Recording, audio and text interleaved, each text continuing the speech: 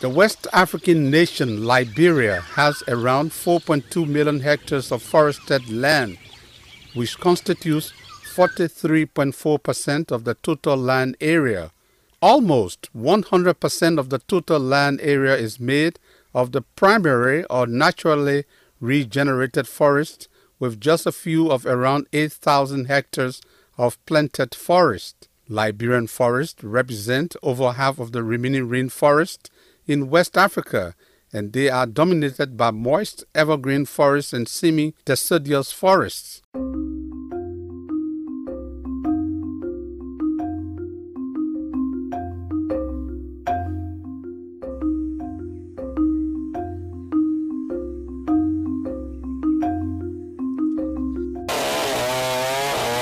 Throughout Liberia's 14 years civil war, tens of millions of dollars of timber sales went unaccounted for, much of it diverted to fund the fighting.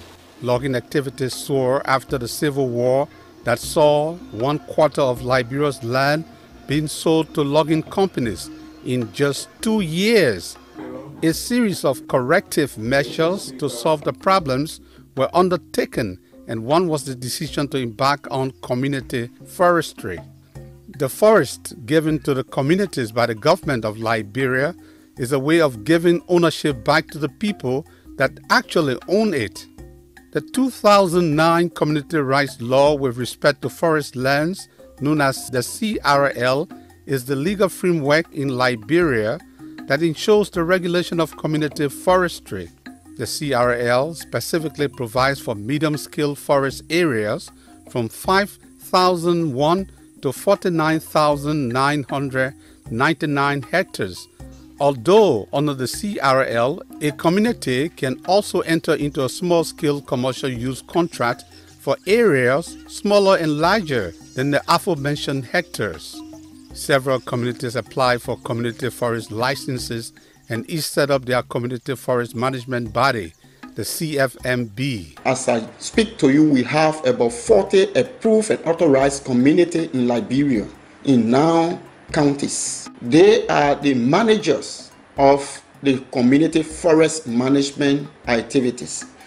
And we have a structure called the Community Forest Governance Structure in each of the approved authorized community given the authority by the FDA through a certificate called the Community Forest Management Agreement.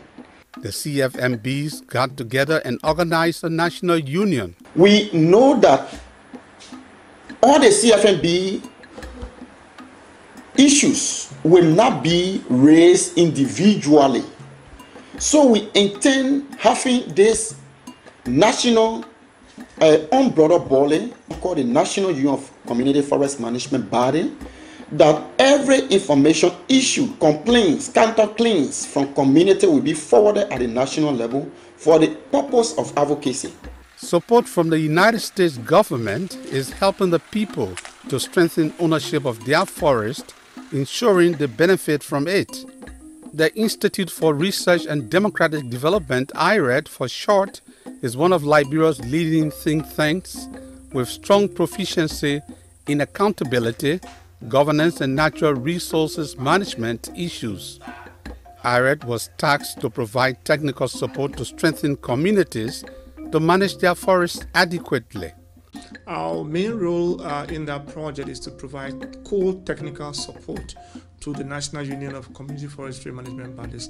So, among the support we're supposed to provide to them is to strengthen their understanding about the community rights law, helping them providing training, capacity building through workshops on issues on, on how they can in turn uh, raise awareness on the community rights law and other governance uh, instruments as far as the, the forestry is concerned. So, we're talking about the forestry reform law, the community rights law, uh, helping them to be able to uh, uh, look at issues on disputes uh, that arises as a result of the forest, building their capacity on on issues on governance, on issues on advocacy, networking, strengthening their role, the way they engage other partners, the FDA. So it's a whole range of technical support that we provide to the National Union of Community Forestry Management Bodies. We so that they are able to effectively uh, conduct or undertake their own mandate as a, as a union. There have been daunting challenges faced by the different CFMBs, whether they are involved in the commercialization of their forests or conservation of their forest. In order for the unions to be effective to do their work in terms of monitoring, in terms of raising awareness, making sure that citizens clearly understand their role as far as the new law is concerned, which is the community rights law. What, that, what does this law say? What are the opportunities there for them? What is their own roles as, as citizens that lives around the forest or in terms of whether protecting the forest or, you know, uh, giving, uh, you know, contracts to private companies to log or do whatever businesses as mandated by the law? How do they work with the FDA? So primarily, it's about how do we strengthen? It's about a gap that that existed in terms of how they relate with the local structures and how they work with national structures to implement the law, which is a community rights law. So it is in this regard that IREDD uh, uh, worked with uh, with uh, with LAVI to make sure that at least we have some support to strengthen their capacity to be able to do some of the very things that I just outlined.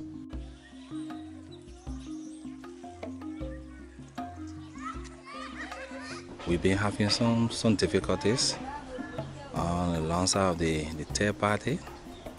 Uh, things didn't go uh, well from the initial stage and we decided to put things together small small because um, yeah, when they were not made how the people own the forest, how they decide they're supposed to be uh, implementing other things and other projects and other things. How the third party is supposed to be, uh, the benefit that the community that the community will receive, how it's supposed to be coming.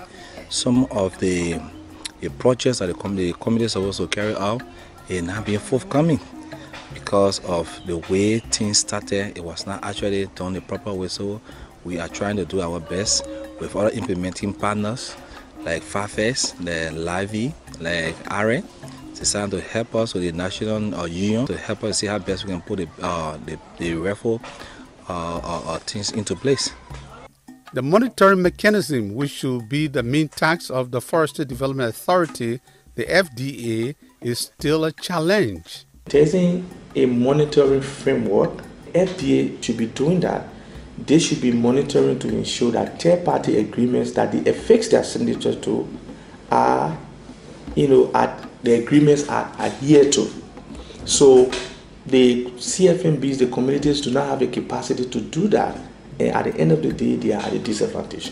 So uh, to address these constraints, LAVI, as part of this project, we introduced something called uh, a monitoring exercise where we train forest monitors to go on the field and specifically monitor the implementation of the third party agreements and the uh, forest laws and related documents.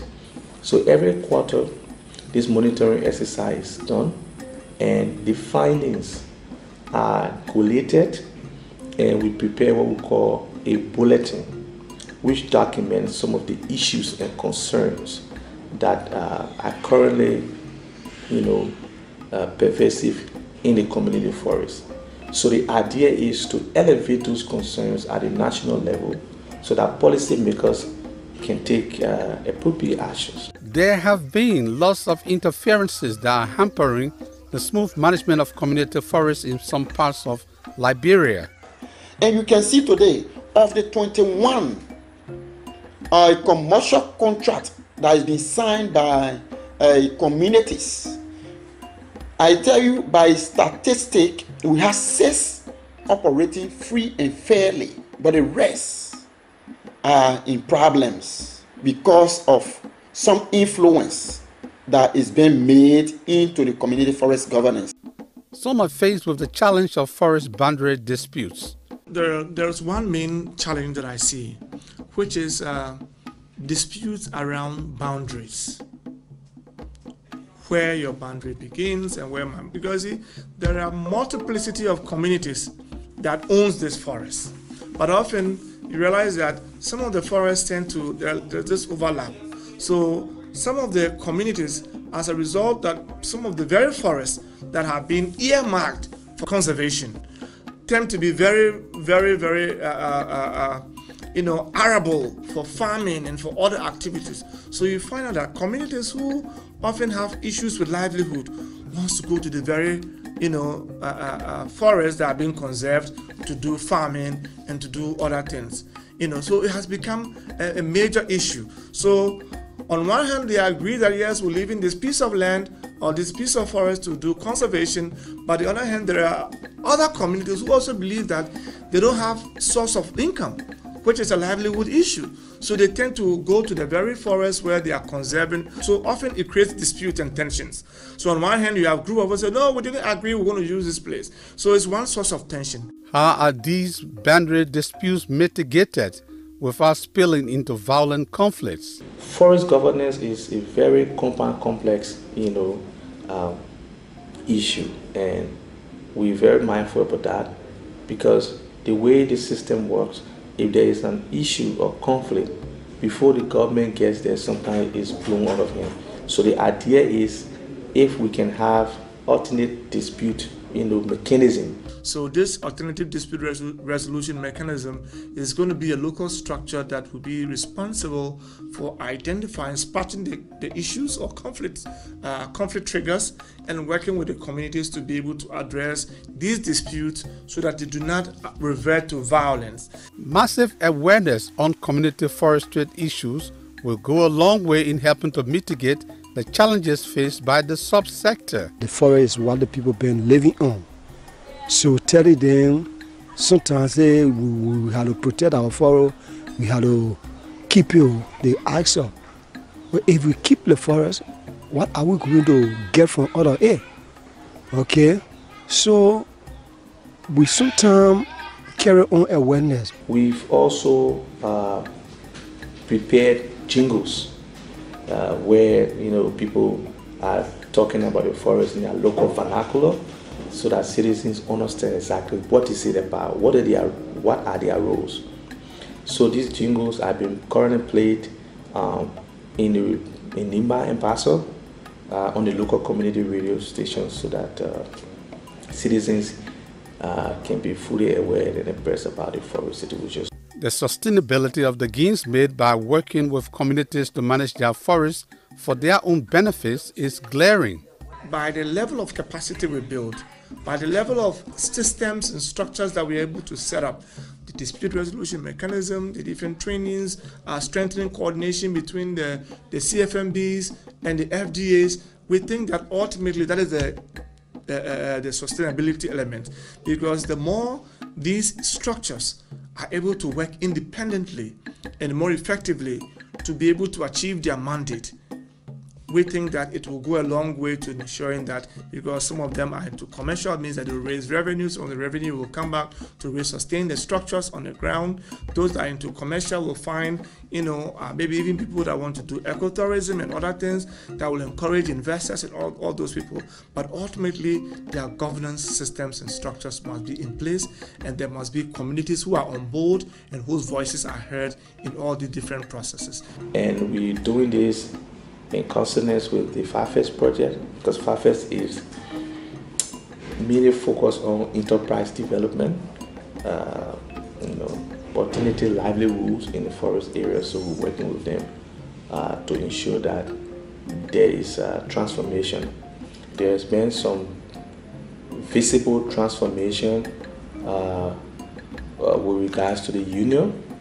Um, their reporting skills the advocacy skills, some of the capacity development that we've given to them, we are gradually seeing the outcomes. The need for further interventions of co creating the ways in which the ordinary people benefit immensely from their natural resources are being sought.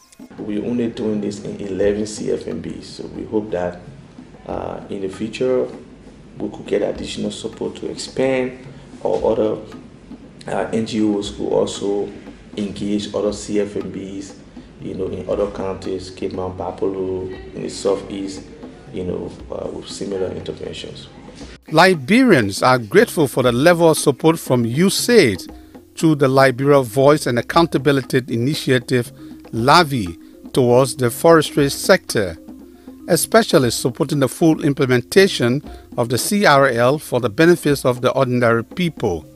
Yeah, uh, we want to say a big thank you uh, to the USAID, uh, through uh, the DAI uh, for the level of support. Uh, we've been very fortunate and they've been magnanimous in their support us for the past three to four years in funding different aspects of our program. And we're also thankful that they are funding this particular component of the project, which is the forest governance. And we hope that ultimately our collective goal, our collective objectives that we've set for within the framework of this project will be achieved. And we look forward to working with them now and in the near future. Every time we go out in the field to discuss with citizens, they are always appreciative of what the UC has done. And I mean, they normally say, oh, say the US government uh, has contributed in beginning to understand what they did not know. You know, oh, we've been sitting here, we didn't even know that this is what's supposed to happen, this is what's supposed to happen. Oh, thank God for you say that these things are happening.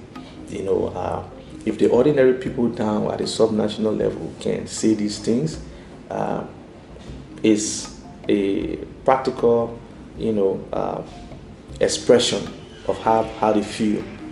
With all of the gains made, there are still lots of works to be done to ensure that the people improve their livelihood through the ownership of their forests.